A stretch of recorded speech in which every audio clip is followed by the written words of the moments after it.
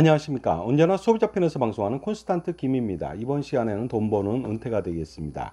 제가 주택연금 가입하지 말라고 했더니요. 어떤 사람이 이런 말을 하더라고요. 자기는 노후 생활비가 충분하니까 주택연금 가입해서 매달 나오는 주택연금액으로 투자한다면 훨씬 더 이익이 아닐까. 그래서 자기는 가입하고 싶다. 가입한 사람도 있고요. 이렇게 생각하는 사람들이 있는데 과연 이것이 뇌구조가 정상적으로 돌아가는 것인지 정말로 답답하게 짝이 없는데요. 오늘 바로 거기에 대해서 궁금증을 해소시켜 드리도록 하겠습니다. 어떤 사람이요? 노후 생활비 충당이 충분하니까 자기는 노후에 편하게 놀면서요. 어떻습니까? 주택연금 가입해서 매월 나오는 주택연금 가지고서 투자를 하게 된다면 아주 효과적으로 자기는 운영할 수 있다고 생각하는 사람이 있나 봅니다. 그런데 그 사람은요 놀랍게도 주택연금이 자기가 평상시에 젊어서부터 부어서 받게 되는 연금인지 알고 착각합니다. 절대로 주택연금은 자기가 노력해서 받은 연금이 아닙니다. 바로 주택을 담보로 해서 대출을 받은 것이죠. 그러다 보니까 이자를 내야 되거든요. 그런데 또 이자를 내지 않습니다. 죽을 때 내거든요. 그러다 보니까 어떻습니까? 월복리 이자의 놀라운 마술쇼를 자기는 죽기 전에 보지 못한다는 거 아닙니까? 그러니 저는 그런 사람 보고 이런 생각이 드네요. 대출 받아서 적금 넣는 사람이 세상에 어디 있겠습니까? 하지만 당신은 대출을 받아서 적금을 넣는 격이네요 하고 말할 수가 있겠죠. 대출 이자가 6%입니다. 그런데 만약에 적금 이자가 3%라고 한다면요. 적금을 넣으면요. 그 3%다 받지 못합니다. 1.6% 정도밖에 절반 정도밖에 못 받습니다. 거기다 또 세금 내야 되잖아요. 그러면 한 1.4%밖에 안 되는데 6%라고 하는 것은요, 대출이자는요, 매달 돈을 내기 때문에 한 6.45% 되거든요, 연단이. 6.45% 내고서, 그 다음에 실질적으로 1.4% 얻는다. 이렇게 투자하는 사람이 세상에 어디 있겠습니까? 그러나 그런 생각을 한다는 사람이 있다는 거 아닙니까? 놀랍지 않습니까? 그러니 저는 한마디로 말씀드리겠습니다. 영화의 한 제목인데요. 허튼 소리라는 말을 꼭 드리고 싶습니다. 정말로 투자를 하게 된다면요. 주택연금 가입해서 그 주택연금으로 투자하게 된다면 고금리 월복리 이자보다도요 주택연금에 훨씬 더 높은 투자 수익률을 기대해야만 됩니다. 하지만 이것은 거의 불가능하다고 볼 수가 있습니다. 왜 그럴까요? 주택연금 월복리 이자가 현재 5.0%입니다. 불과 1년 전만 해도 6% 가까이 됐거든요. 엄청납니다. 월복리 이자라고 하는 것은요. 2% 미만일 때는 그다지 걱정이 없습니다. 하지만 1.5% 정도 되면요. 그 다음부터 부담스러워지기 시작하고요. 그 이상 된다. 3%다. 그러면요. 이거 감당하기 어렵습니다. 그런데 4% 6%다. 이건 더더욱 감당하기 어렵죠. 그러다 보니까 100세까지 산다 하더라도요. 36년 동안 10억 받았을 때 이 금리대로 한다면은요. 이자는 10억이 아니고요. 20미당 내야 됩니다. 120세라면요. 10억 받고요. 예, 가령 10억 받고서 무려 50억 원의 이자를 내야 되는 일이 벌어질 수가 있고요. 특히 또 금리가 올라간다면 이건 있을 수 없는 황당한 일이 또 일어나게 됩니다. 그러다 보니까 어떻습니까? 월복리 이자를 물면서 투자를 한다. 그랬을 때는요. 세후 투자 그 연복리 5%에 투자한다 하더라도 무조건 손실입니다. 왜냐면요. 월복리 5% 연, 그러니까 연복리 5% 대비 월복리 5%가요. 그러니까 5% 월복리가 훨씬 더 높거든요. 그러니까 5%라고 하는 것, 연복리 5% 투자한다는 것은요, 세후라고 하는 것은 실질적으로 세전으로 따지면 엄청나거든요. 그것을 어떻게 하는지도 모르겠지만 그렇게 투자한다 손 치더라도 그 월복리 연 5% 월복리를 이겨낼 수는 없습니다. 제가 검증해 보도록 하겠습니다. 주택연금 12억 원짜리 가지고서 주택연금 가입하면요. 65세 정액종신형으로 매월 288만 2천 원을 평생 받을 수 있는데요. 10년만 받고 투자한다고 볼까요? 10년 120개월. 그렇다면요. 세후 연복리 5%에 투자한다고 가정해 보겠습니다. 이랬을 때 만기 시 원금은 3억 4,800 3억 4,584만 원이고요. 그 다음에 수익은 1억 85만 원 정도가 됩니다. 하지만 월복리 이자로 내야 되는 것은요. 원금 3억 4,584만 원 하고요. 수익은요. 그러니까 이자죠. 1억 168만 원을 내야만 되는 것이 되겠습니다. 그러다 보니까 어떻습니까? 그 연복리 5%에 투자한다 손 치더라도 83만 원의 손실이 납니다. 그런데 중요한 것은 세후 연복리 5% 투자 못 하거든요. 그러다 보니까 그것도 꾸준히요. 그러다 보니까 무조건 손실이 나죠. 두 번째 좀 알아보도록 하겠습니다. 이번에는 36년 동안 투자한다고 가정해 볼게요. 왜냐하면 주택연금은 죽을 때까지 투자할 수가 있거든요. 아, 받을 수 있거든요. 그러니까 투자할 수 있다고 볼 수 있겠죠. 432개월로 연복리 5%에 투자한다고 했을 때 원금은 12억 4,502만 원이고요.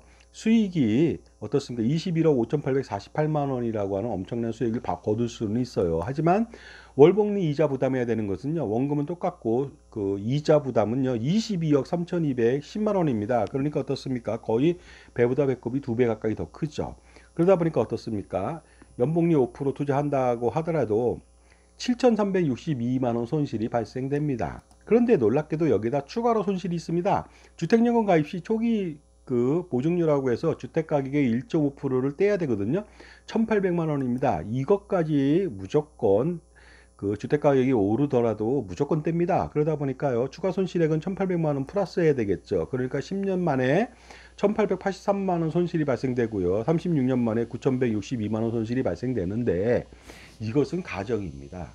그런데 중요한 것은 연 5% 투자 못한다면요. 이 손실은 수십억이 될 수가 있고요.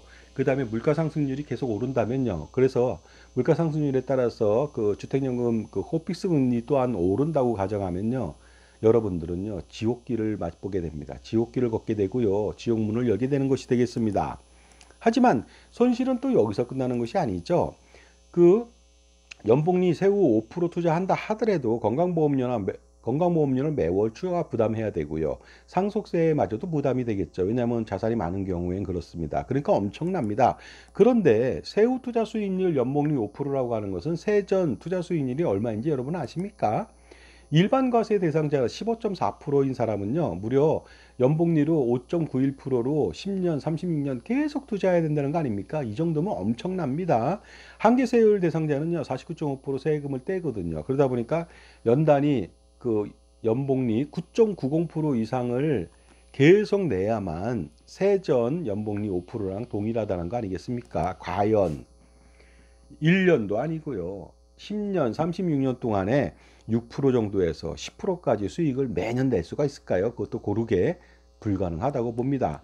그러나 주택연금 이자액은요 끝없이 들어갑니다. 얘는 가능합니다. 무조건 어떻습니까? 무조건 내게 돼 있습니다. 이자율에 맞춰서 절대로 떨어지는 일은 없겠죠. 이자가 떨어지진 않습니다. 물론 이자율이 좀 떨어져서 좀 덜 받을 수는 있으나 절대로 이자액이 마이너스가 되는 경우는 없겠습니다. 그리고요 누적된 것에 대해서 계속적으로 월복리를 적용하다 보니까 나중에 6%로 투자하다가 6% 대출 이자였다가 나중에 3%가 된다 하더라도요 엄청난 누적된 그 이자 원리금에 대해서 엄청난 이자 부담을 정말로 눈덩이처럼 불어난다는 점 반드시 아셔야 되겠습니다. 그런데 그 이자율이 5%가 아니라 6%, 7%, 8% 되면 어떻게 될까요? 그때는 정말로 생지옥을 경험하게 됩니다.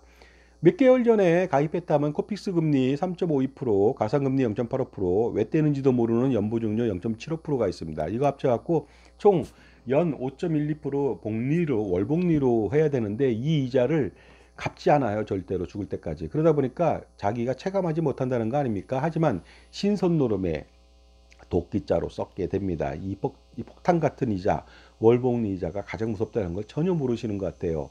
아인슈타인 박사가 이런 말을 했잖아요. 그 월복리 이자가 이 정도나 되나? 아니 연복리 이자가 이렇게 되나? 하면서 복리의 마술쇼라고 했습니다. 하지만 연복리는 택도 없습니다. 턱도 없습니다. 왜냐하면 월복리는 그보다 더 심하거든요 자 그러다 보니까요. 가입 당시에는 뭐 5.12% 월복리지만 지금은 5.0% 월복리가 되겠습니다. 이것은 계속 변동되겠죠. 6개월 단위로.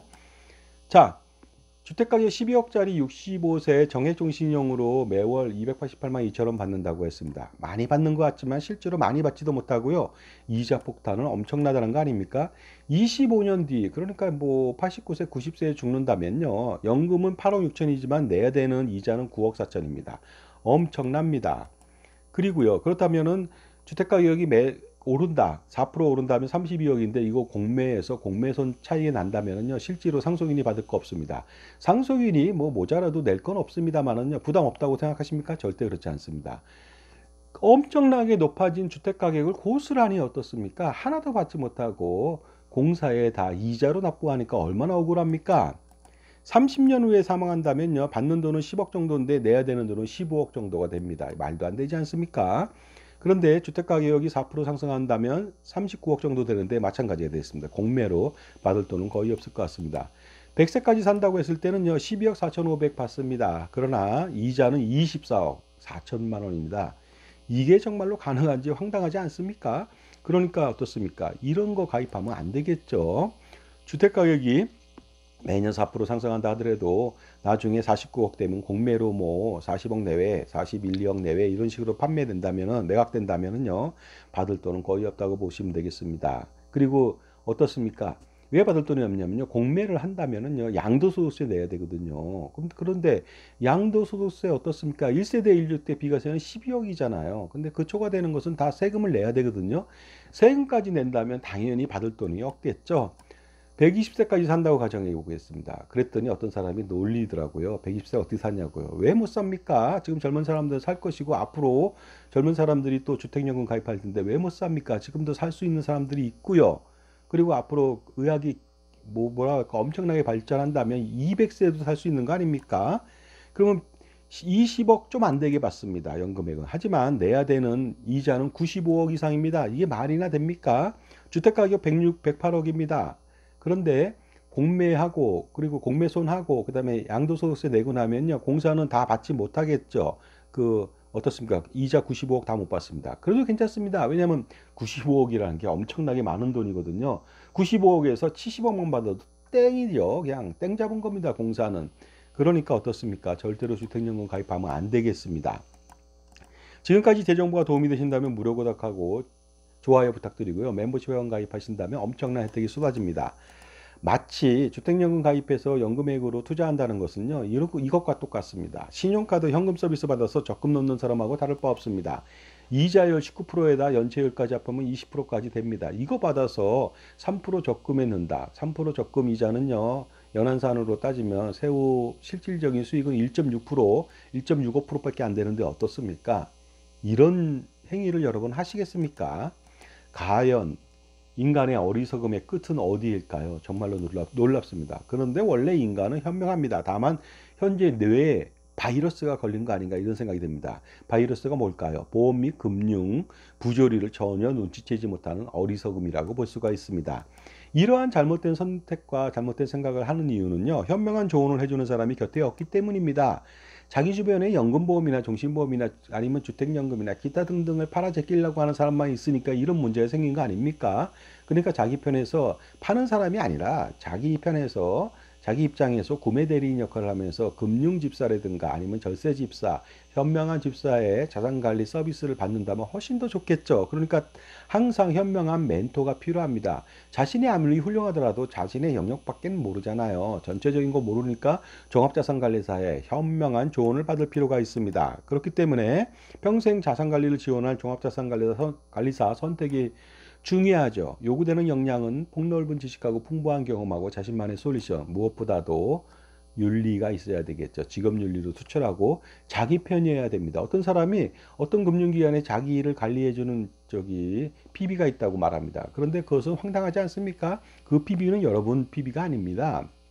그 금융기관 PB죠. 금융기관에서 월급 주지 않습니까? 여러분의 월급 안 주거든요. 자, 길 가다가요 공원에서 큰 개가 막 짖고 다닙니다. 그랬더니 사람들이 왜 입마개 안 했냐 그러니까 우리 개는 안 물어요 이렇게 말합니다. 맞습니다. 우리 개는 안 묻니다. 주인을 안 문다는 것이죠. 왜냐하면 주인이 먹이를 주는데 물겠습니까? 하지만 먹이를 주지 않는 다른 사람들은 문다는 거 아닙니까? 그러니까 입마개 해야 되겠죠. 마찬가지입니다. 금융기관에 소속되어 있는 종합자산관리사가 이해상충이 일어난다면 누구 편을 들겠습니까? 월급 주는 사람 편 당연히 들지 않겠습니까? 여러분이 연봉 2, 3억 줍니까? 그렇지 않잖아요. 그러니까 현명한 판단해 보시기 바랍니다. 자, 지금까지 황당하게 주택연금 가입해서 노후생활비는 충분하니까 주택연금 받은 돈으로 마치 자기가 연금 받은 것처럼 넣어서 연금 받은 것처럼 투자하겠다고 하는 어리석은 인간 뱁새에 대해서 제가 확실하게 그 현명한 방법을 안내해 드렸고 절대 그러면 안 된다는 말씀 드렸습니다. 감사합니다.